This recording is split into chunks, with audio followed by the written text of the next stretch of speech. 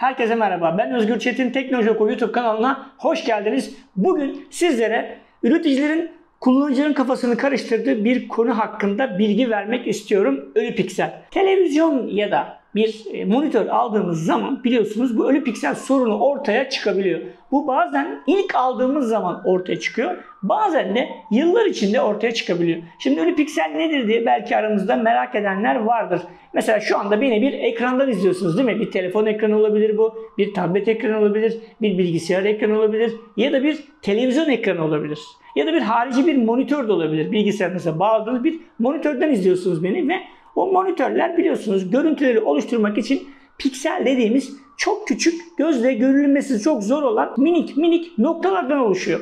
Bu noktaların bazıları zaman içinde bozulabiliyor ya da siz satın aldığınız zaman da bu şekilde bozuk çıkabiliyor. Şimdi üreticiler burada diyor ki arkadaşlar ben diyor bu üreticiden üreticiye değişiyor ama ben diyor belli bir sayıya kadar diyor ölü pikseli diyor bir ayıplı olarak bir hata olarak kabul etmiyorum diyor. Şimdi burada önemli bir sıkıntı var. Şöyle bunu satın alırken size kimse söylemiyor. Yani bugün gidin herhangi bir markanın televizyonunu alın, monitörünü alın, tabletini, telefonunu alın. Ki telefonlarda pek olmuyor ama tablet ve monitör ve özellikle televizyonlarda çok sık karşılaşılan bir sorun bu.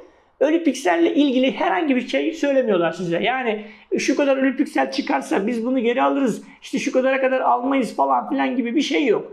Birçok üreticide, birçok üründe 3 e, piksele kadar bazen de 5 piksele kadar diyor ki biz bunu geri almayız kardeşim diyor. İstediğin yere şikayet et diyor. Hatta böyle kafalarda olan yerler var arkadaşlar.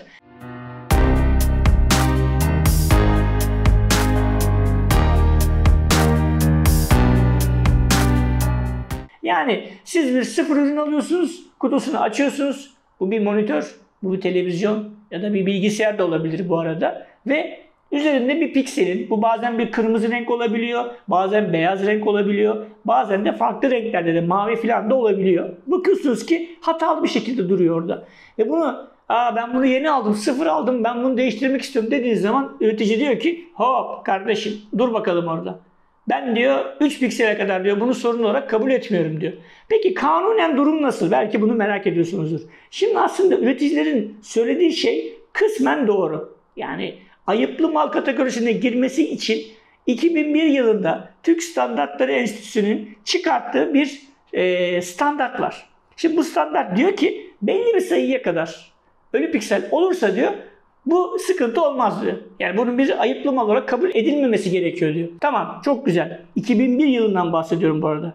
TSE'nin 2001 yılında çıkardığı bir standart. Şimdi bu standart 2010 yılında iptal edildi. Dendi ki onun sebebi de şu. Artık teknoloji çok gelişti. Bu şekilde ölü piksellerin olmaması gerekiyor diyor TSE. Peki üreticiler ne yaptı? 2010'dan bugüne kadar aradan kaç yıl geçmiş görüyorsunuz. Şu anda 11 yıl oldu en azından biz bu videoyu çektiğimiz tarihte. 11 yıldır üreticiler ne yapıyor? Böyle bir sorun olduğu zaman diyor ki bizim böyle bir işte şeyimiz var. Mesela bunu sorarsanız satın almadan önce gidin sorun bir herhangi bir üreticiye. Burada üretici ismi vermek istemiyorum ama hatta şimdi ekranda ben size bir onların e, dokümanlarını da göstereceğim. Üretici ismini kaldırarak gösteriyoruz. Onlar da diyor ki hayır kardeşim diyor biz onu tanımayız diyor.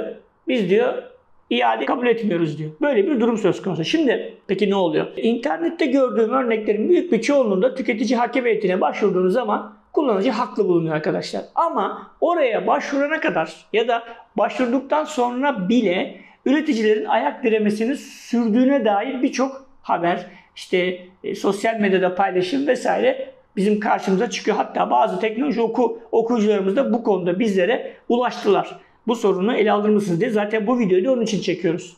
Şimdi durum şu, hakkınızı aramanız lazım. Özellikle sıfır ürün aldığınız zaman böyle bir sorunla karşılaşırsanız sonuna kadar hakkınızı aramanızı öneriyorum. Ha, birazcık uzun sürüyor, birazcık beklemeniz gerekiyor. Birazcık vakit alan bir işlem. Gidiyorsunuz başvuruda bulunuyorsunuz işte onlar sizin televizyonunuza bakılıyor, şu oluyor, bu oluyor, bilir kişi atanıyor falan filan derken süreç biraz uzuyor. Ama eninde sonunda hakkınızı alıyorsunuz. Şimdi üreticiler de bunu bildiği için ya diyor sen boş ver diyor. 3 piksele kadar zaten bir şey olmaz diyor. İdare ediver bunu deyip topu size atabiliyorlar. Sizi uğraştırmamak için ya da işte sizi bir şekilde mahkemede hakkınızı alacağınızı bildiği için size böyle hani pasifize etmeye çalışıyor.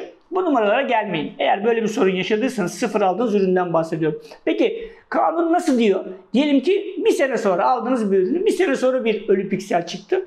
Bu zaman da hakkınızı arayabiliyorsunuz. Bunun da örnekleri var. İnternette yaptığımız bir araştırmada biz bunun da örneklerinin olduğunu gördük. Eğer öyle bir durum olursa da yani garanti süresi genel Türkiye'de 2 yıl biliyorsunuz. 2 yıl içinde oluşabilecek bu tarz sorunlarda da yine tüketici hakem heyetine başvurup yani markaya başvursanız muhtemelen sallayacak size onu söyleyeyim ben. E, sallamayacak markalar da olabilir. Deneyimli olan varsa yorumları mutlaka yazsın arkadaşlar. Hani ben markaya başvurdum bir sene sonra şöyle oldu böyle oldu. Ama genelde markalar hani kullanıcı hatası diyor veya bunlar ol- olacak şeyler deyip topu size atıyorlar arkadaşlar. O bakımdan hakkınızı aramanızı öneriyorum. Söylediğim gibi üreticiler, televizyon üreticileri, monitör üreticileri ne yazık ki böyle ürünleri değiştirme konusunda pek hevesli değiller ama benim önerim teknoloji oku olarak önerimiz kesinlikle ve kesinlikle hakkınızı arayın. Hakkınızı aramazsanız bunlar böyle hani sizi 3 piksele kadar şu var, 5 piksele bu var kadar deyip kandırabiliyorlar. Hatta geçen bir arkadaşım aradı.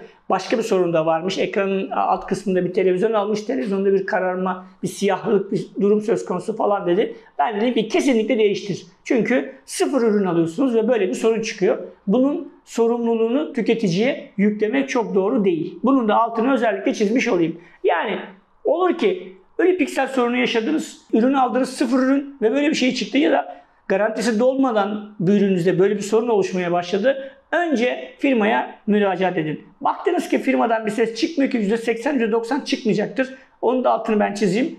Çıkmazsa tüketici hakem heyetine başvurup hakkınızı aramanızı şiddetle ve hiddetle öneriyorum arkadaşlar. Bir videomuzun daha sonuna geldik. Bu videoda sizlere ölü piksel meselesini anlatmaya çalıştım. Konuyla ilgili merak ettiğiniz ve benim anlatmayı unuttuğum şöyle bir şey daha olabilir mi? Böyle bir şey de oldu ya da benim başıma şöyle bir olay geldi. Şu marka şöyle çözdü gibi olumlu ya da olumsuz örnekleriniz varsa yorumlarda bizlerle paylaşmaktan çekinmeyin. YouTube kanalımıza abone olmayı ve bizleri aynı zamanda Instagram, Twitter, Facebook gibi sosyal ağlarda takip etmeyi unutmayın. Farklı videoda görüşmek üzere. Hoşçakalın.